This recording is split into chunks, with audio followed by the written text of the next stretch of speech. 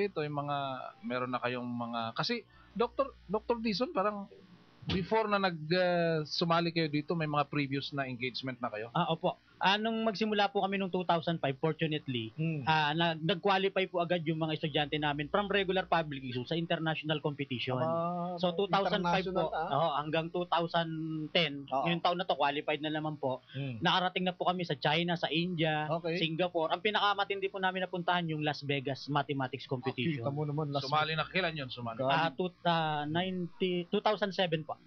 2008. Sila din. Ah, yung mga nauna po sa kanila. Ah, Ah, eh, ba't naman. hindi nyo nang dinala nyo una-una pa? Eh, Hindi kasi- Sila po, nakalinya na rin po. Ah, Kasi sila yung number one. Ah. So sila yung mga So, susunod. ito, mga susunod po. So itong mga ito, sanang possible within this year. Ah, Ah, meron po kaming training ngayon sa Naga. Tapos Ah. buong Pilipinas po 'iyon. Mag, Ah. magkakaroon po ng selection process. Pag nakapasok po sila ah, at nag-top, Ah. sila po yung ilalaban sa Korea yata or sa aba, Taiwan po yata. Okay, ah. Mat Olympics din. Mat Olympiad Mat. Olympics, ah. Talaga, ano? Hirap Okay. sumali dyan, ha? Ah, Carl. Hmm. Carl ba? Si Carl ba yung ah, graduating? Si Carl. Graduating ka ng um, This year. Bakit pinili nyo ng school na ito? Po. Hmm, Bakit, mas ginusto mong nag-enroll dyan?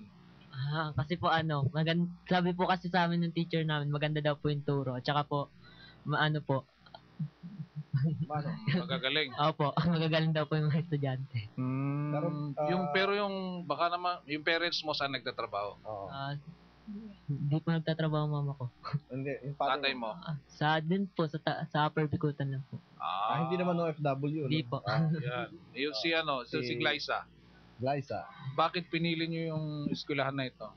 Kasi maganda po yung ano, parang mataas po yung quality ng education and Kahit public school siya. opo, dahil Ah. science high school din po and Yo. selected po yung mga students. Mm. Ah, Tsaka ano po, medyo malapit din po sa bahay. Sa bahay nyo. ah, yung mga parents mo, hindi naman OFW, mga ano hindi meron po. ba? Ano, Si- pero ano sila? Ah, anong income ah, bracket? Eh, Hindi ko po alam eh. Hindi, Na- pero dyan yung nagtatrabaho dyan. Nagtatrabaho ba o hindi? Ah, dito sa Tagig lang. Ah, sa Taguig lang. Okay, so mas malapit. Si Mm. Aljan, ah, Aljan, ano, um, malayo ka ba sa eskwelahan o malapit din? Ah, ma- halos kasing layo lang po ng kay Kiyama. Pero ano, ah, graduate ka ng public school na elementary Opo, graduate bago ka pumasok dyan. Ganon din Opo. sa iyo, Joshua. Sa private po ako, bro. Sa Oh, private school. Bakit di ka tumuli sa private para may ano? Wala na pong high school dun sa pinapasok. ah, doon sa ano, walang high school yung ano, elementary lang. Ah, okay. So mas ginusto nyo dito. Bakit pinili nung parents mo na doon ka mag-enroll? Hmm.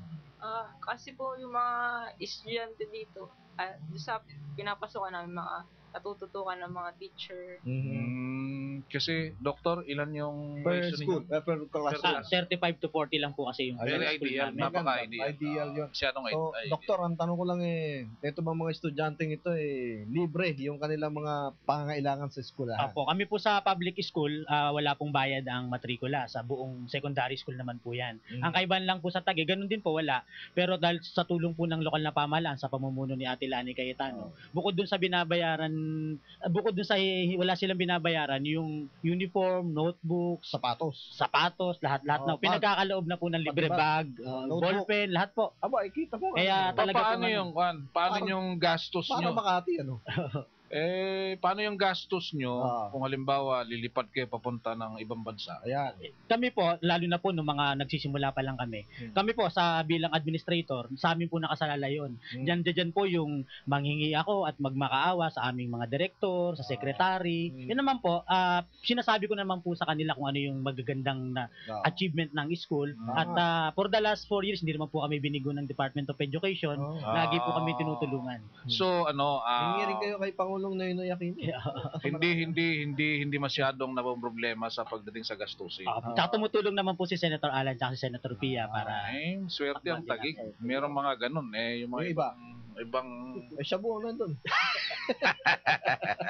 Okay, with that, uh, Si- congratulations ha. But eh, si ma'am na lang, si ma'am, Si Ma'am ah, Vivian. Vivian. Ah. Ma'am, nasa inyo po yung huling pagkakataon para yung ating mga estudyante, hindi lang sa Pilipinas, buong Pilipinas eh, maingganyo nyo na mag-aral ng math at ah, kayo magiging math wizard. So, yun po. Ah, sa mga kabataan na nag-aaral, huwag kalimutan lagi ang ah, pag-aaral ninyo. Huwag niyo kalimutan yung unang-una, magdasal muna lagi pag nag-aaral. Ngayon, kung mag-aaral naman kayo ng math, iintindihin palagi kung ang prob- kung problem solving yung binigay sa inyo, kailangan i-analyze mabuti yung problem bago mag-solve.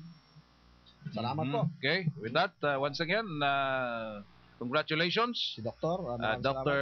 George Tison, ang uh, principal, Principal. ng uh, Senator Renato Compañero Cayetano Memorial Science and Technology High School, Taguig City. Si Mrs. Vivian De Luna, salamat. Ah, si Joshua Coballes, Aljan first year ito. Balbuena, Aljan Balbuena, partner, yung Second year. At Ah. si Glyza Marie Lipato, third year. At si Carl Ray Ma- Maximo, Maximo, fourth, fourth year. year.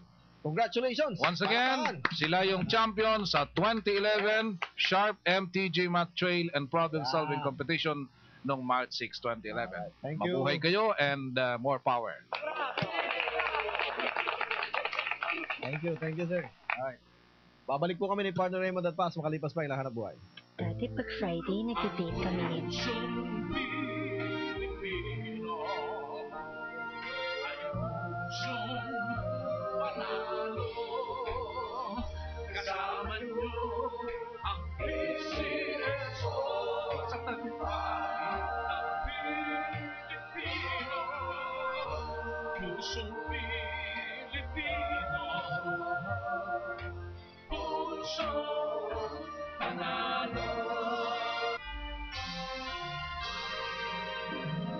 Radio history starts with Manila Broadcasting Company, the first radio network in the Philippines and the largest radio network in Asia. For many years, MBC is on top when it comes to news, information, entertainment, and public service. Through DZRH, the only AM station in the country that broadcasts nationwide via satellite, listeners are informed and entertained by the country's most respected broadcast journalists. Joe Taruk, Deo Macalma, Ruth Abal, Andy Vital, and Tracy Bayan. With an unbeatable team of reporters and news writers, DZRH delivers fresh and accurate news round the clock with Action Radio. NBC entertains through our top rating FM stations nationwide. Love Radio, Yes FM, Hot FM, Easy Rock, and Radyo Natin stations. The latest in music, entertainment, and information is what NBC offers to the millions of listeners nationwide through state of the art radio technology for the most superb, crisp, and clear signal. And now, NBC is invading TV. Joining the NBC family is RHTV With affiliate cable channels, RHTV is able to air quality programming for the whole family, catering to the many different needs and tastes of televiewers, such as the latest news and information, lifestyle, and health programs, educational shows, and latest in showbiz entertainment. MBC is ever evolving, ever growing to provide quality programs for the Filipino and will always be the country's strong ally in promoting growth and development of the Filipino nation. Of the Filipino nation.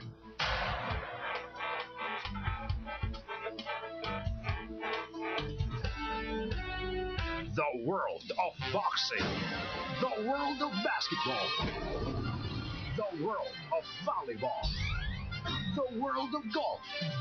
The world of sports. Ngayon, iisa na ang pagkukuhanan ng mga balita. Iisa na ang sentro ng pagbumula ng mga pinakabagong impormasyon pagdating sa mundo ng palakasan. MBC Sports Center. MBC Sports Center. Sabay ang mapapakinggan at mapapanood sa DZRH at RHTV. Kasama ang ating mga sports analysts, sina Chris Capulso at Ruel Vidal. MBC Sports Center.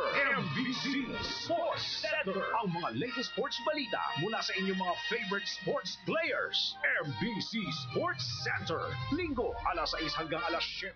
Lemon sa programang Sesyon!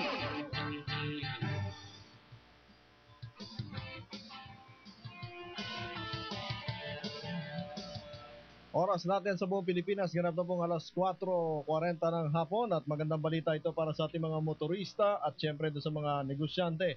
Magbabawas na po ng presyo ng gasolina ang Eastern Petroleum bukas. Piso kada litrong rollback sa presyo ng gasolina ang ipatutupad ng kumpanyang epektibo alas 5 ng madaling araw. Ayon partner kay ah, Ginoong Ferdinand o Fernando Martinez ng Eastern Petroleum, ang hakbang daw na ito ay bunsod ng pagbaba ng presyo ng langis sa world market. Aba, So, naman. Bababa. Naman. Magkano? Eh, nagtaas sila ng nakaraan ng dos, Oh. piso lang. Kita mo naman, ha? Eh, ganun At talaga. least, at least, partner, may binawa. Oy. Ah, ito kasi bigyan ko lang ito partner. Kung good news 'yan, Oo. bad news ito. Ano naman yan? Sabi ng aking bilas Oo. na si Tom, Nasabi? lakas ng lindol dito sa Cagayan. Ba? Ayan, oh, may nag-text dito sa Gataran, Cagayan, ganun din, no? Pakicheck nga to, Maring Let, Alas yung 4, Gataran, ay, Cagayan. alas 4 yes daw nung kaninang naranasan. Lawag City, sabi ni June. For 10 minutes daw, partner. 10 ah, minutes. 10 minutes yung kahaba. Yung yanig. Mm. Oo. Sabi ni June ng Lawag City, Uh-huh. ah, wow. Ayan ha, medyo hirap tayo ng konti pagdating sa problemang yan. Mm. Iba na rin yung partner na yung lindol dito sa atin. Mukhang ah, mag-iingat tayo dahil alam mo naman, nung nakaraang hearing partner, ay may tinaya ang PBOX sa Changjayka na 7.2 magnitude dito sa Metro Manila partner.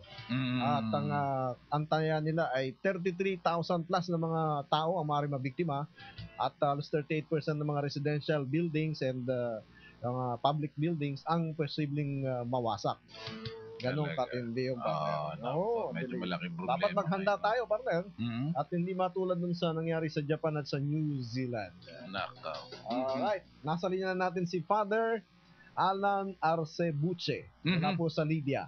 Libya. Opo. Okay. At nalang naman natin, Meron ng partner. mga airstrikes, ha? Yun, ang Oo. kondisyon natin mga kababayang OFWs doon dahil sa Tripoli pa lang ay meron parang mga 2,500 Pilipino na titira doon